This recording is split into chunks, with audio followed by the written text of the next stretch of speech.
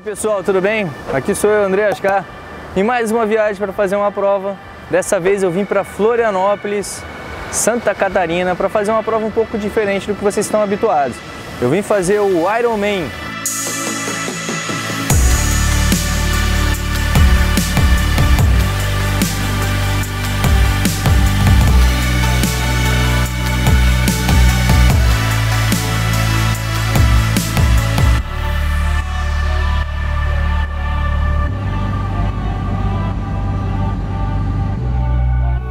Pois é, estamos no chão aqui agora, galera. Acabei de chegar em Floripa.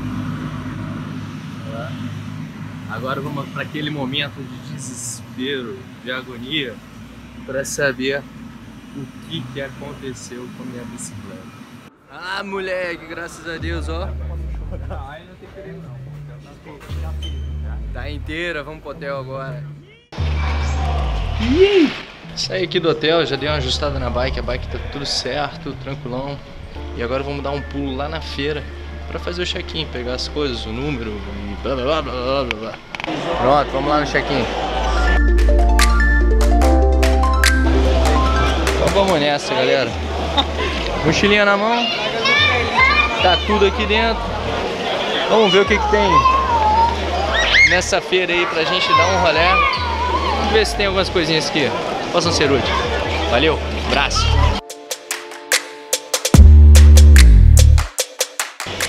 Bora, eu gosto de usar esses óculos aqui pro treino.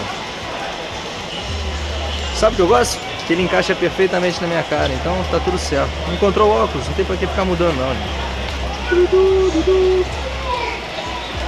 Vamos lá.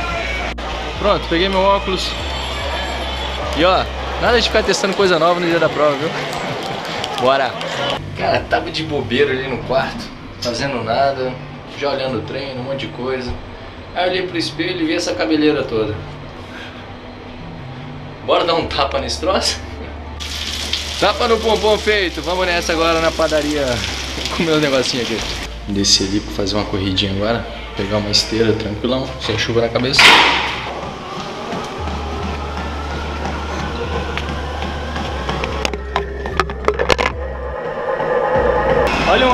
Só o Ironman Brasil me permite. Soltando no trotezinho aqui, na esteira. Olha quem tá do meu lado aqui. O Fera, Rodrigo Lobo.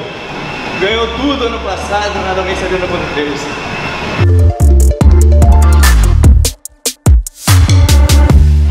Depois de encher o bucho de macarrão, ainda tem espaço um sorvetinho. E até coragem de encarar uma fila. Olha lá.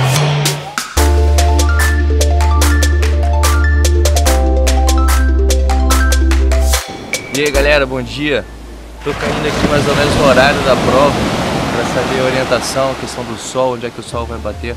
Aqui não é bem o lugar onde vai ser a prova. A prova é muito mais para lá. Não tem orientação das boias, fazer aquele treino e tudo mais, que seria melhor, já ter a boia para se orientar, mas é mais para sentir o mar, ver como é que nesse horário o mar, o fluxo né, da água, a maré tá puxando, como é que o mar tá empurrando, se tá atrapalhando muito. Mas tá uma piscina, cara, e o sol tá atrás das nuvens atrapalhando. Vamos nessa, dá uma nadadinha só pra soltar, relaxar a musculatura e descansar. E aí galera, depois daquela nadadinha tranquilona, boiando, sentindo o mar, vendo como é que tá. Agora vamos testar a máquina. Eu cheguei aqui até agora no de bike. Vamos dar um rolezinho na bichinha. Que a bichinha tá linda. Vamos curtindo o clima aí, galera.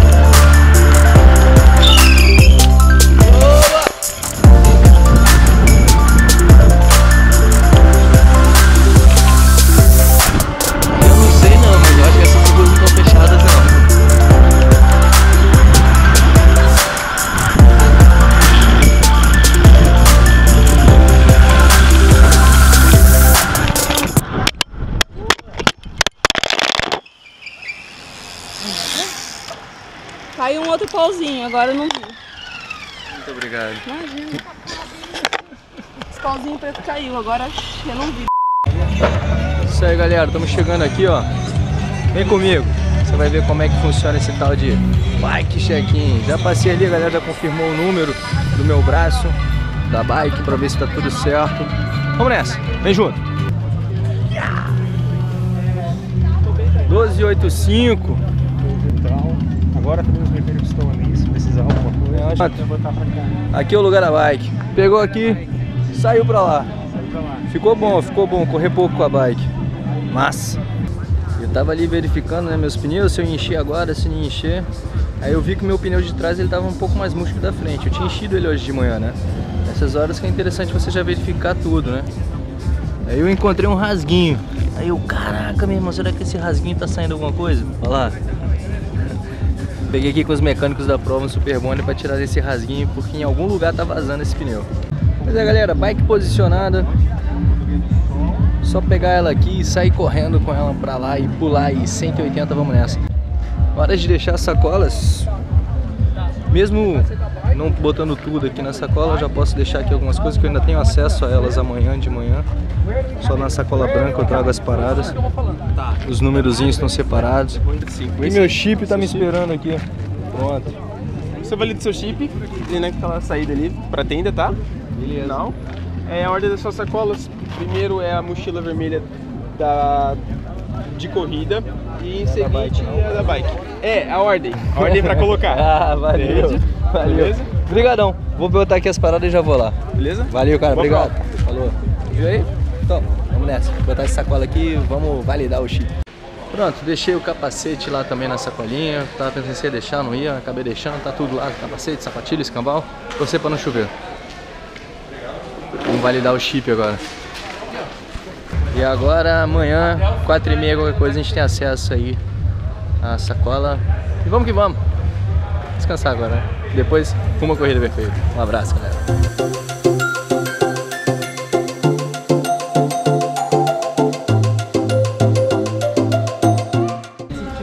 E aí galera, bom dia.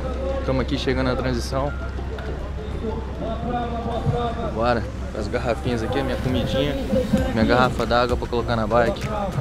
As mochilas aqui, as sacolas, tá vendo aí? Sacola e vamos nessa. Então, estamos aqui terminando, já botei a garrafinha. A outra garrafinha, prendi minha sapatilha aí, já peguei lá a sapatilha.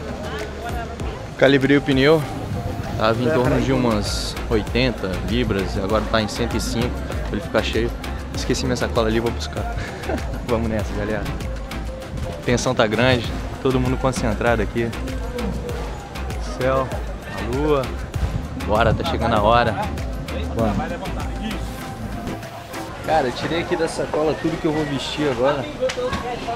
Que eu vou usar pra não esquecer. Já coloco tudo isso e o que eu tenho que levar ali pro, pro, pra sacola de corrida. Que ainda é a minha vaselina ali. E o stride pra botar lá pra não esquecer. Então arranca tudo da sacola pra não esquecer da parada. Eu sempre esqueço alguma coisa mesmo. A gente evita. Bora, vamos botar essa roupa. Vambora. Primeira parte aqui. Roupa, já larguei de novo minha sacola ali. Organizei. Botei lá a vaselina. O stride no pé. Do tênis. Vamos nessa. Pra não dar risco de dar errado.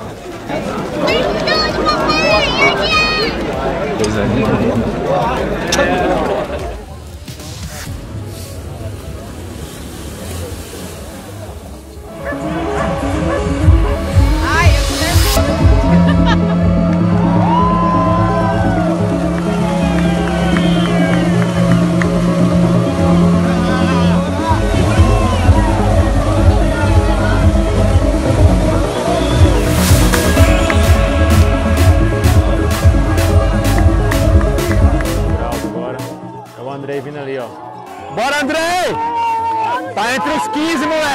Bora, bora!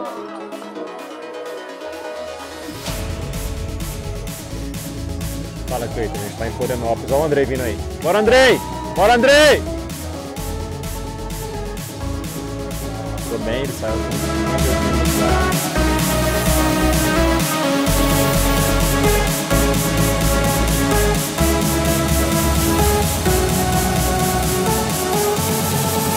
Vamos, Andrei!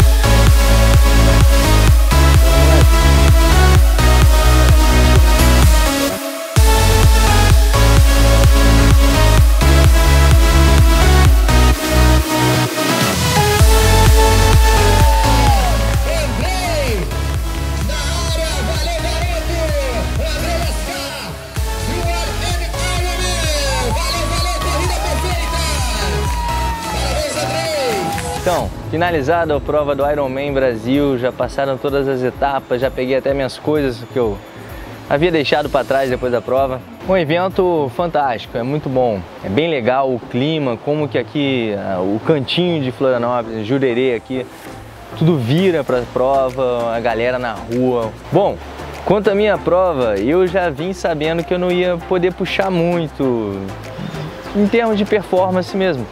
Meus últimos 40 dias, assim, que são os cruciais assim, para a prova, foram bem atrapalhados.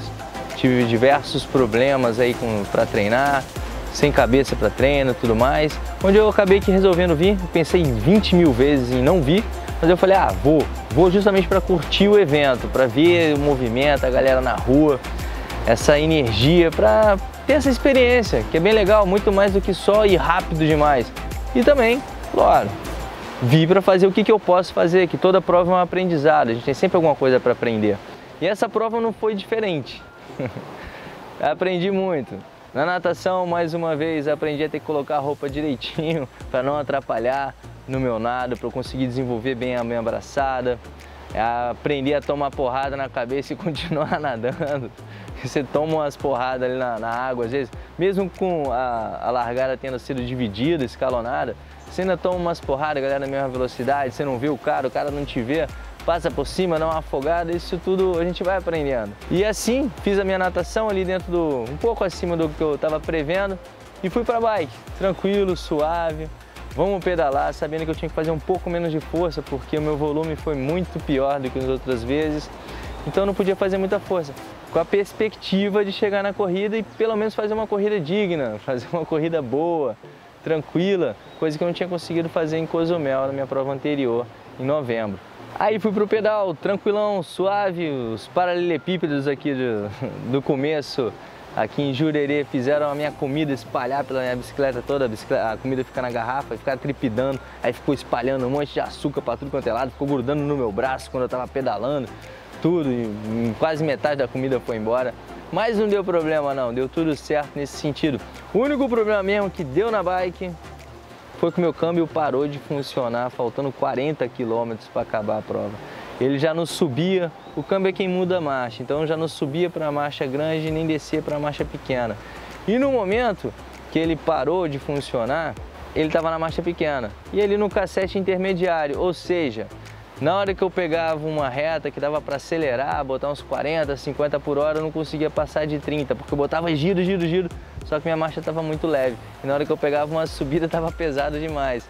Então acabou que eu perdi um tempinho na bike também, perdi um pouco de força, que acabou desgastando, muita energia, porque eu parava de pedalar e fazia muita força. Mas eu ainda estava com a perna sentindo que a perna estava leve, apesar disso tudo, entende? Não tinha sentido um grande peso. Aí fui para a corrida. Fui para correr, eu saí para correr, devia ter mais ou menos umas 6 horas e 10 de prova, 6 e pouco. Então ainda dava para fazer o que eu estava pensando que ia fazer, que era minhas 9 horas e 20 aí. Só que aí na corrida, cara, eu investiguei o melhor tênis, eu investiguei a meia, o escambau para resolver o problema que aconteceu comigo em Cozumel. Coloquei um tênis a mais no Special Needs, foi até isso que eu fui pegar hoje, aqui no encerramento do evento é, o tênis em meia seca, tudo mais, para trocar o, no meio do caminho se tivesse algum problema, mas eu não queria ter problema, eu tinha testado tudo.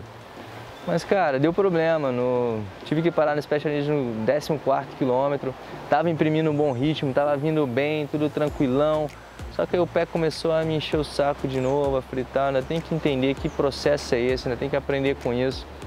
Parei, troquei o tênis, peguei um tênis sequinho, tudo mais, taquei vaselina e, cara, doendo, doendo, parei no meio do caminho para botar um pouco mais de vaselina que eu tinha levado junto comigo. Aí sarou um pouco no meio do caminho, só que aí depois começou a doer de novo, que bateu desespero, tirei tênis, comecei a... vou correr descalço, meu. Só que o chão tava ruim na hora que eu tava descalço, eram umas pedrinhas e tava doendo mais ainda, meu pé já tava doendo pra caceta, imagina. Aí botei o tênis, caminhei mais um monte. Aí eu, não, vamos correr um pouquinho. Que quanto menos tempo passar na maratona, menos sofrido vai ser, né? Aí fui conseguindo encaixar, até que chegando ali naquela fase dos 3 km para acabar, né? Quando você chega no 39, meu irmão, ah, dane-se a dor, cara. Foda-se, vai doer, mas vamos mais rápido. Que dói mais, mas dói por menos tempo. Aí acelerei o passo, consegui botar ali os 4,20, 4,10, fechando ali em 4,5 no último, no último quilômetro.